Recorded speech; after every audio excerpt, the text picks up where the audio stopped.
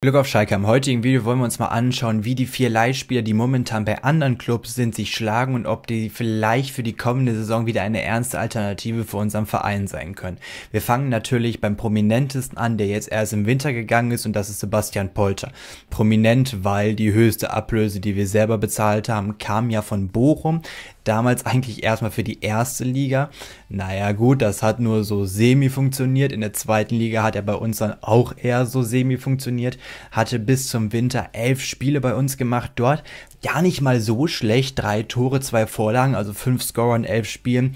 Ist halt jemand, der ja vorne sehr viel wühlt, sehr viel ackert, den Gegner stört. Auch mit seiner Physis, mit seiner Größe und allem. Ist er dann im Winter jetzt zu Darmstadt gewechselt in die erste Liga. Für mich persönlich etwas überraschend. Muss man sagen, Darmstadt hat eine Kaufoption, die wohl circa, und da weiß man nicht die genaue Zahl, bei 500.000 Euro liegen wird. Also wir werden da definitiv am Ende ein dickes Minus machen, wenn er denn wirklich gehen sollte. Hat seitdem, jetzt, seit er bei Darmstadt ist, insgesamt bei jedem Spiel gespielt. Bei jedem Spiel war er häufig in der Startelf. Am Anfang kam er auch mal von ein bisschen später rein, aber spielt sehr viel. Man muss dazu sagen, Darmstadt, ich glaube, da brauche ich nicht viel sagen, die sind halt momentan abgeschlagen, letzter, wobei so wirklich abgeschlagen auch noch nicht. Da kann in der Theorie, Theorie auch noch ein bisschen was passieren. Ist natürlich auch momentan ein bisschen Pech.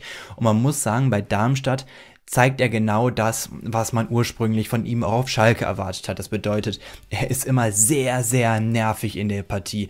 Er versucht mal Bälle festzumachen, versucht vorne so ein kleiner Fixpunkt zu sein für andere Spieler, auch mal ein Anspiel, eine Anspieloption zu sein und gleichzeitig den Gegner zu nerven, hat aber bis jetzt weder ein Tor noch eine Vorlage geliefert, heißt noch null Scorer-Punkte bei Darmstadt. Ich denke mal, das wird sich auf kurz oder lang ändern, aber Darmstadt macht halt auch nicht so viele Buhen, dementsprechend ist das jetzt auch kein großes Wunder. Ich persönlich glaube, dass Polter nicht vielleicht bei Darmstadt bleiben wird, aber auch nicht bei uns. Ich glaube, das ist vorbei, das Thema. Ich bin mir ziemlich sicher, dass er im Sommer, wenn nicht nach Darmstadt, dann irgendwo anders hinwechseln wird. Man muss natürlich schauen, wie man ihn los wird, weil ich glaube nicht, dass eine große Ablöse für ihn noch gezahlt wird von irgendjemandem.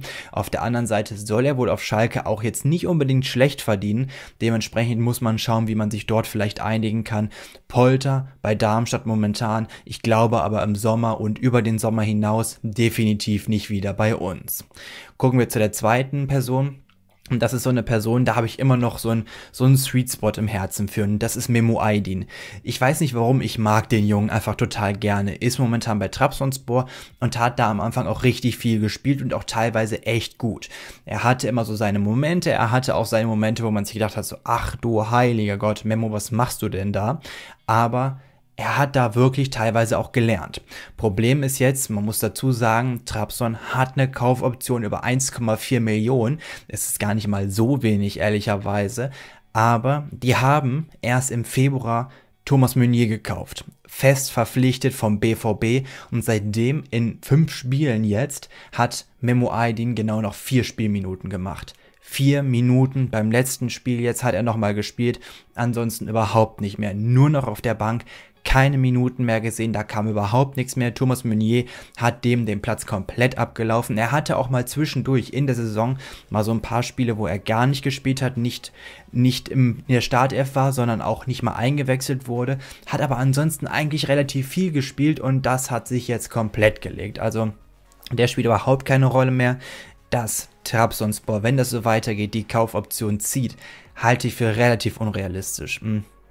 Ich glaube nicht, dass sie das machen werden. Ich denke mal, die werden mit Thomas Meunier gehen und dann hat Memo Aydin dort wahrscheinlich keine Zukunft. Ich könnte mir vorstellen, weil die Position ist vakant. Wir brauchen dort genau jemanden. Das wäre echt eine gute Sache.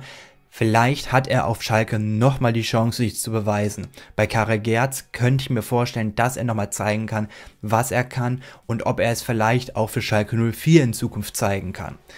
Wenn das nicht der Fall sein sollte, glaube ich, dass er dann relativ zügig auch den Verein verlassen wird und ich könnte mir vorstellen, dass dann jetzt auch irgendwann mal das komplette Ende folgt. Das bedeutet, dass man einen festen Transfer anstrebt und dass er dann das Projekt Schalke, nenne ich es einfach mal, beendet. Was ich aber sehr schade finde, weil wie gesagt, Memo Aydin irgendwie Ich weiß nicht warum. Ich, ich habe immer noch seinen Scherenschlag im Kopf in der zweiten Liga. Er ist mir irgendwie immer noch sympathisch und ich habe immer sehr viel auf ihn gehofft, muss ich sagen.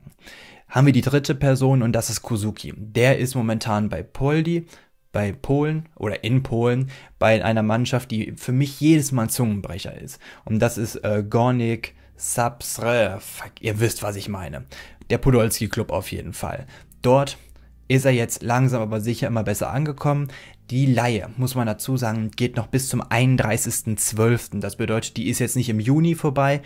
Und da hat er noch einige Zeit, also extra, um sich weiter auszubilden, beziehungsweise weiter fortzubilden, um besser zu werden. Auf Schalke, muss man sagen, hat er relativ wenig gespielt. Fünf Spiele hat er überhaupt irgendwie Einsatzzeiten gesehen. 178 Minuten. Das sind nicht mal zwei volle Spiele. Klar, er braucht mehr Spielzeit. Und die Polen haben auch eine Kaufoption, die beträgt wohl rund 300.000 Euro. Das ist also relativ wenig, aber, und das ist der große Punkt, und das finde ich sehr, sehr clever, Schalke hat eine Rückkaufoption. Die liegt dann bei circa 800.000 Euro. Klar, man muss ein bisschen mehr zahlen, aber wenn der sich richtig gut entwickelt dort oder wenn der vielleicht plötzlich richtig einschlägt, dann hat man die Möglichkeit, ihn relativ günstig zurückzuholen und weiter an den Verein zu binden muss man sagen, dass er in den letzten Wochen, er hat ein bisschen gebraucht in der Extraklasse, um anzukommen und richtig Fuß zu fassen, ist er in den letzten Wochen immer besser und wichtiger geworden. Hat auch, das Video könnt ihr vielleicht irgendwo auch mal auf Social Media noch finden, auf YouTube definitiv, dass er auch von den Fans gefeiert wurde. Und Poldi hat ihm noch gesagt, was er denn sagen soll, so zum Anfang. Und er wirkte total schüchtern, aber er wirkte sehr glücklich und das freut mich total, weil ich den für einen peakfeinen Jungen halte, der wirklich auch Talent hat, aber wir konnten halt auch nicht erwarten, dass der uns plötzlich alleine schultert und da was abreißt. Deswegen hoffe ich sehr, dass er sich noch weiterentwickeln kann. Ich könnte mir sehr gut vorstellen, dass die Kaufoption sogar gezogen wird und dass man sagt, okay, der bleibt vielleicht noch dort. Ich könnte mir aber dann weiterhin vorstellen, dass Schalke ihn auf Dauer wieder verpflichten wird, zurückholen wird. Ob dann direkt für den Verein selber, für uns oder ob man ihn dann direkt weiterverkauft, das sei mal dahingestellt. Ich glaube, kurzfristig, auch über die, Verle äh, über die Laie hinweg, könnte er noch dort bleiben, auf Dauer aber dann wieder zu uns zurückkehren. Und ich würde es mir sehr wünschen, wenn ich ehrlich bin. Haben wir als letztes jetzt noch Justin Hekeren und da ist natürlich die Frage, welche Nummer wäre er? Weil Marius Müller auf Nummer 1 ist, glaube ich, gesetzt. Dann war die Sache, könnte er jetzt schon Nummer 2 sein? Das ist momentan aber Ralf Fährmann und deswegen hat man ihn ausgeliehen in die zweite belgische Liga zu Pato Eisten. Ja, kenne ich natürlich, oder Eisdern, ähm, kannte ich überhaupt nicht, ehrlicherweise, aber nun gut. Dort ist er Stammtorwart. Er spielt bei jedem Spiel, hat jetzt in insgesamt ähm, sechs, äh, sechs Gegentore kassiert bei sieben Spielen, wobei man sagen muss, dass die einmal 3-0 verloren haben. Da also alleine schon die Hälfte kassiert.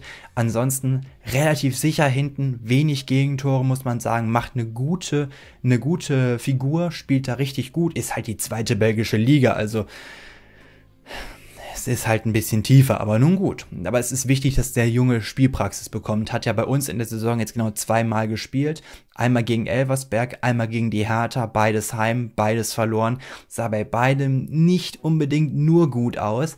Glaubt man aber immer noch, dass er vielleicht ab der kommenden Saison die Nummer zwei sein kann. Intern wird wohl angeblich laut mehreren Medienberichten gemunkelt, dass er dann bald die Nummer 2 übernehmen kann und dass er dort Fährmann schon ablösen könnte. Fährmann dementsprechend eventuell halt auch ein Verkaufskandidat. Da gibt's ja immer wieder Unruhen. Viele behaupten ja, ob der Berater von Ralf Fährmann vielleicht auch so für die ein oder anderen für die ein oder anderen Bildartikel zuständig ist. Was daran stimmt, was nicht, können wir nur erahnen. Aber man glaubt wirklich, dass er mittlerweile die Nummer 2 sein könnte und Ralf Fährmann eventuell auf Platz 3 oder dann vielleicht sogar auf den Transfermarkt schieben könnte. Marius Müller allerdings, der wird unantastbar sein wahrscheinlich. Also klar wird er eine offene, einen offenen Wettkampf haben, aber ich glaube, Marius Müller ist dann doch nochmal eine Nummer drüber. Deswegen tippe ich, dass er auch im Sommer wiederkommen wird dass er dann sich auf die Bank als Nummer 2 setzen wird und wer weiß, vielleicht kann er weiter lernen und kann irgendwann die Nummer 1 werden. Wir müssen schauen, ich könnte mir aber vorstellen, dass wir dann noch eine Nummer 3 brauchen, wenn Fährmann wirklich gehen sollte und Michi Langer eventuell dann auch den Verein verlässt oder beziehungsweise vielleicht ja sogar Torwarttrainer wird, weil die letzten Videos gesehen hat, der weiß Bescheid. Da muss man also schauen, dass man noch so ein bisschen Erfahrung vielleicht hat. aber Justin tippe ich, dass er im Sommer wiederkommt. Was ist denn deine Meinung? Wer von den vier Spielern wird wiederkehren? Wer wird weiter verkauft werden oder weiter verliehen werden? Schreib mir deine Meinung unten rein.